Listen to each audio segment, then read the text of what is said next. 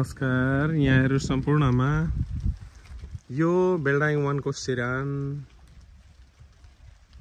रतुवा खोलामा ब्रिज लगाइसकेको रहेछ। साँच्चै नै हेर्दाखेरि कता कता ती विगतका दिनहरू सम्झिँदाखेरि यही रतुवा खोलामा लुगा धुने नुहाउने दाउरा खोज्ने कामहरू हुन्थ्यो आज सुनसान भएको रहेछ यो बेलडाङ वानको सिरानको रतुवा यो माथि मैलाबाट चाहिँ ग्यास उत्पादन गर्नुभएको रहेछ र बाटो पनि पक्की सडक बनेको रहेछ यहाँनिर। घनघोर जङ्गल भएको छ। म यहाँहरूलाई यो यस फलैचामा आइपुगेको छु। सायदै कसैले देख्नुहुन्छ होला। यहाँनिर लेख्नु भएको छ Beldangi one sector E three Chhapra number two hundred sixty four भनेर लेख्नु भएको छ। सायद कसैले यो संरचना बनाउनु भएको छ भनेदेखि यो भिडियो मार्फत पनि यहाँहरूलाई यो अवगत हुन सक्छ। आजसम्म यो फलैचा भनौँ मानिसहरू ओहोरदोहोर गर्दाखेरि थकाइ मार्ने ठाउँ बरपिपलको फेदमा साँच्चै नै रमाइलो छ। अहिलेसम्म जीवितै रहेछ र यो घनघोर बस्तीको सानो भिडियो गर्दै म यहाँहरू समक्ष अगाडि बढ्दैछु। साँच्चै नै दर्शकबिन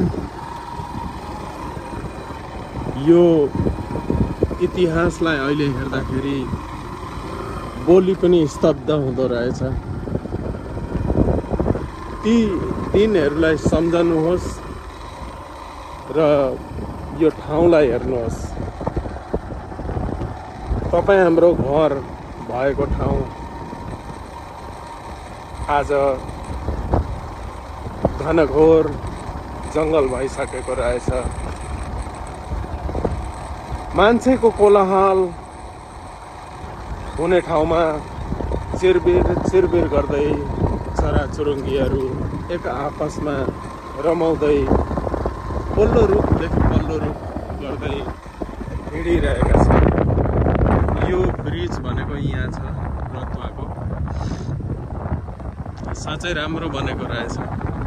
कम्प्लिट भइसकेको रहेनछ र चाहिँ अर्को एउटा संरचना यहाँ आइपुग्यो यहाँहरूले देखिराख्नु भएको छ।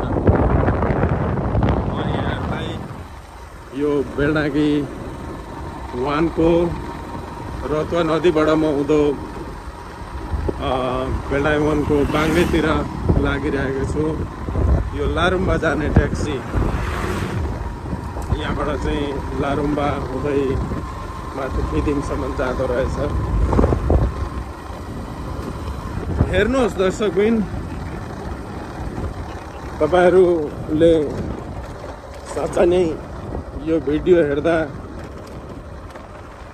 पक्कै नै यहाँहरूका आँखा रसाउने नै छन्। ती दिनहरू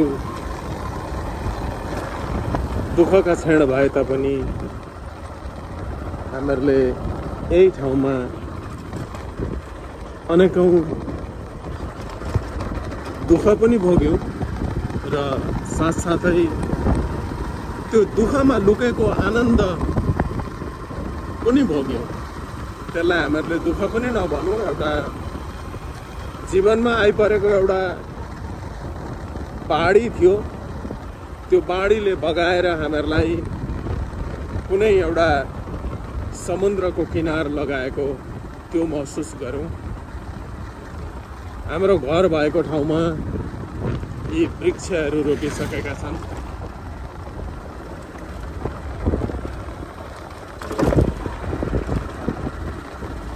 साँच्चै नै यो दृश्य र विगतको दिन सम्झिँदाखेरि कता कता भकानिँदो रहेछ। के गर्नु? मान्छेको जिन्दगी हो। कहिले कहाँ?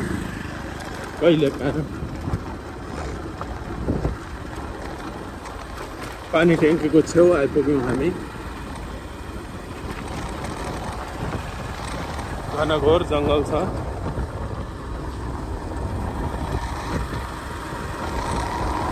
तपाईँ हाम्रो घर भएको ठाउँमा अहिले पुग्नलाई साँच्चै डरलाग्दो जङ्गल भइसकेको रहेछ। हामीहरूले गएर खोज्दाखेरि सायद त्यो भिट्टा त्यो हामी बसेको माटो पत्ता लगाउन पनि निकै गाह्रो हुन्छ होला। मैले हिजो बेलडाङ्गी टूमा गएर मैले मेरो पुरानो घर पत्ता लगाएँ तर निकै कठिन नै भयो। यहाँ हेर्नुहोस् यसमा यहाँ आँप लिचीहरूको बगैँचा रोकिएको रहेछ। साँच्चै नै ठुलो बाटो बनिएको छ। जङ्गल घनघोर छ दर्शकबिन ल हेर्नुहोस् यो सबै हाम्रो घर भएको ठाउँ हो। ल अहिले यो बाङ्गेको छेउको हो। यहाँ आँपको वृक्षहरू हुन् यिनीहरू। आँपका वृक्षहरू रोपिएको रहेछ। यो इतिहास